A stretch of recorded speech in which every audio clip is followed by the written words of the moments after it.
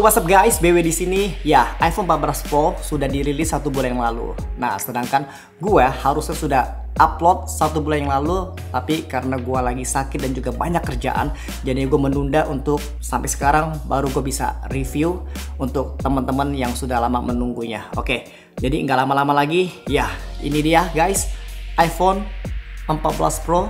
Ya, dengan warna yang new. Baru kali ini gua coba untuk suka warna yang baru yaitu warna purple. Kalian juga bisa lihat di sini ya gue juga matchingin dengan baju gua. Oke okay guys, so untuk iPhone 14 Pro ini kita akan melihat desainnya, performance-nya, dan juga hal-hal yang baru yang ada di iPhone 14 Pro. Dan sesuai dengan thumbnailnya, ya gue beli iPhone ini cuma 5 juta. Tapi tunggu, nonton sampai habis, gue akan jelasin Bagaimana caranya?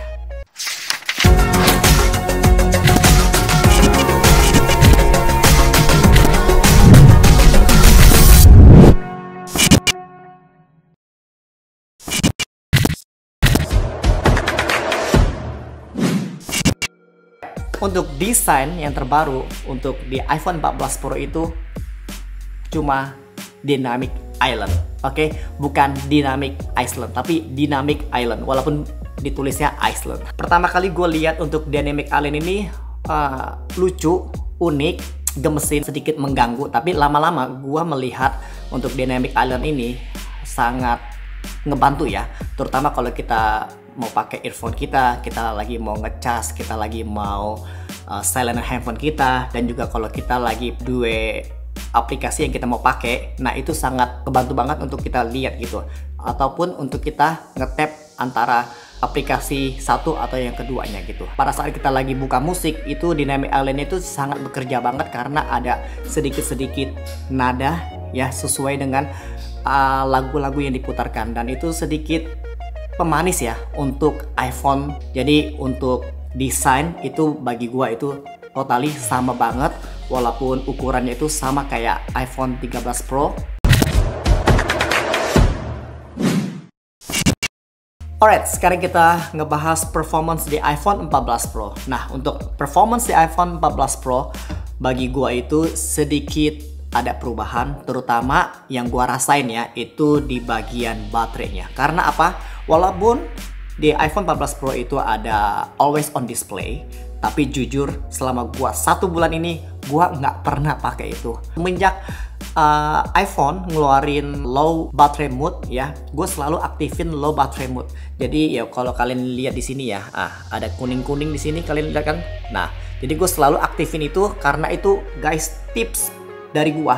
Kalian harus aktifin ini karena akan ngebantu banget untuk baterai iPhone kalian. Mau iPhone 11, 12, 13 ya, 14 atau seterusnya, coba deh aktifin low power mode di baterai iPhone. Nah, selain baterai, kedua itu yang sangat benar-benar berubah banget itu adalah iOS 16 ya.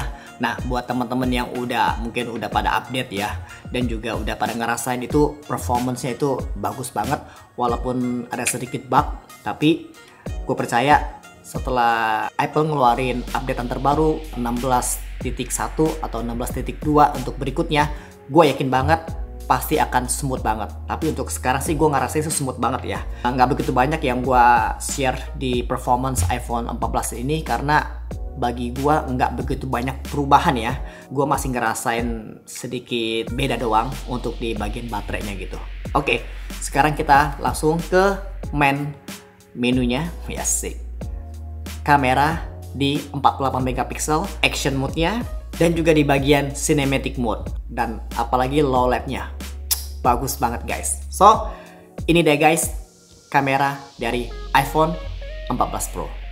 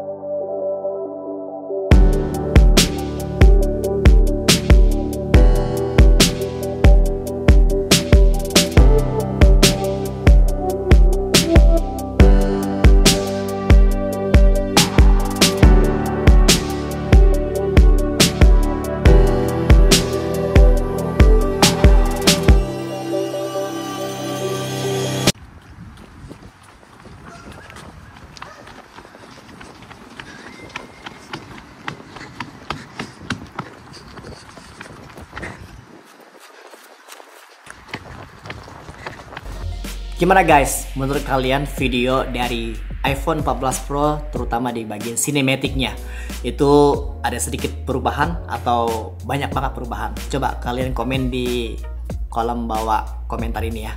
Untuk di kameranya, kalau kalian lihat itu dia ada tiga uh, lensa. Yang ultrawide itu dia 0,5 ultrawide itu dia pakai 13 mm termasuk sama yang makronya ya ultrawide makronya sama pakai 13 mm main kameranya itu yang satu kali itu 1x itu dia pakai 24 mm. Nah, yang terbarunya nih guys, dia itu ada two time uh, zoom. Dia menggunakan 48 mm. Nah, yang kamera ketiga itu adalah telefoto tiga kali zoom itu dia pakai 77 mm. Untuk di bagian action mode-nya itu bener-bener wow, itu keren banget ya. Istilahnya itu kita udah nggak perlu lah namanya gimbal, ya stabilizer ataupun apalah ya. Jadi tinggal onin action mode-nya di iPhone 14 Pro langsung kalian mau lari jungkir balik atau gimana itu bener-bener wow smooth banget ya. Itu bagian yang paling gue suka. Oke sekarang gue lagi pakai kamera depan dari iPhone 14 Pro ini dan ini 24 mm dan yang di kamera lensa gue di Sony gue itu adalah 20 mm jadi beda 4 mm tapi berasa banget ya wetnya ya. Jujur ini kualitasnya itu di iPhone 14 Pro yang terutama di kamera depannya itu bagi gue itu udah good job banget udah bagus banget. Warnanya juga udah oke. okay keren. Untuk di bagian cinematic videonya itu dia udah bisa kalian shoot di 4K 25 atau 30 fps ya. Itu sangat wow sangat ada peningkatan ya. Bagi gue tuh bagus banget. Dan juga kalau kalian bisa lihat di video ini ya itu kalian lihat deh. Itu blurnya itu cantik banget. Ya smooth banget. Bener-bener udah hampir sedikit kayak di SLR tapi ya balik lagi. Ini teknologi yang ada di iPhone gitu guys. Bang, lu kok bisa sih beli iPhone cuma 5 juta doang? Nah, ini dia guys. Ini juga mungkin sedikit tips dari gue ya. Karena gue menjual iPhone 13 Pro gue dan gue cuman tambahin 5 juta doang untuk beli iPhone 14 Pro. Itu dia jawabannya. So buat temen-temen yang mungkin yang mau niru kayak gua, kalian bisa kok ganti setiap tahun. Bagi gua sih itu worth it banget ya. Setiap tahun cuma ganti 5 juta. Ya tergantung iPhone kalau naikin harga ya. Untuk kesimpulannya guys apakah iPhone 14 Pro ini boleh untuk di upgrade atau enggak? Itu balik lagi ke teman-teman. Kalau teman-teman fans boynya fans girlnya Apple ya mungkin kalian akan ganti ya. Tapi kalau kalian bekerja di sosial media ya terutama di TikTok, di Instagram, bagi gue itu worth it banget untuk ganti di iPhone 14 Pro ini. Kenapa?